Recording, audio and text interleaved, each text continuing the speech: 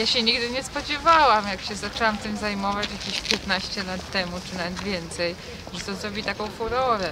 E, No gender to, to jest tyle co rodzaj, tak jak jest po prostu rodzaj żeński, męski, nijaki, to po angielsku to, to, to rodzaj to jest gender. I stąd się wzięło całe to zamieszanie, bo y, jest w no, zapisach po prostu administracji Unii Europejskiej zasada równouprawnienia, to znaczy programy społeczne, projekty, wszystkie, które dotyczą y, rozwoju społeczeństwa muszą uwzględniać tą zasadę równości. Człowiek rodzi się równy bez względu na płeć, rasę, kolor skóry, stopień zamożności, czy jakąś przynależność etniczną. Wszyscy jesteśmy równi, no gender też o tym mówi.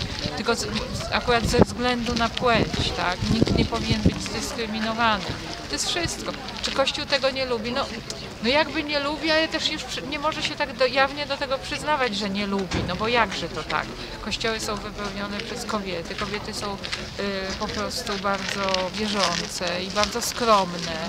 Y, w społeczeństwie polskim, no bardzo takie społeczności wierzących, katolików są takie, no bardzo pokorne, posłuszne, prawda? Kobiety nie kłócą się jakoś o swoje, nie protestują. E, Przecież no, kościoły katolickie na zachodzie są trochę inne, bardziej demokratyczne, są jakby kolegialne, takie jakieś decyzje podejmowane, czy ludzie po prostu wierni są też częścią kościoła, tak się czują. W Polsce przerywanie ciąży nie jest legalne, jest legalne w trzech wypadkach. E, Takich są dopuszczalne e, sytuacje, kiedy legalne jest przerywanie ciąży, ale w praktyce legalnych zabiegów w Polsce jest bardzo mało. Właściwie się przerywania ciąży nie praktykuje. Oprócz bardzo jakichś już skomplikowanych przypadków medycznych, ale to jest kilkaset, kilkadziesiąt tego rodzaju sytuacji w Polsce, a większość kobiet po prostu przerywa ciążę za granicą, w Czechach, na Słowacji bez żadnego problemu.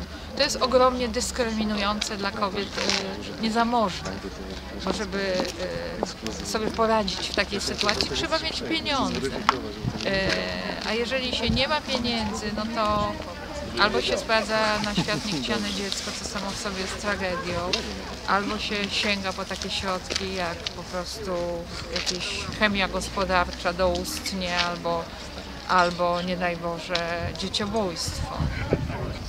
Kandyduję do y, Parlamentu Europejskiego, tutaj w tym regionie kujawsko-pomorskim, z list Koalicji Europa Plus Twój Ruch. No i po prostu jestem tu, no to jeszcze jest trochę czasu tak naprawdę do kampanii. Staram się po prostu poznać ten region i nie tylko ze statystyk, z internetu, z artykułów, z omówień, prawda, z jakichś takich lotu ptaka, czy jakichś właśnie wskaźników ekonomicznych, tylko po prostu też, że tak powiem, dotknąć, powąchać i polizać.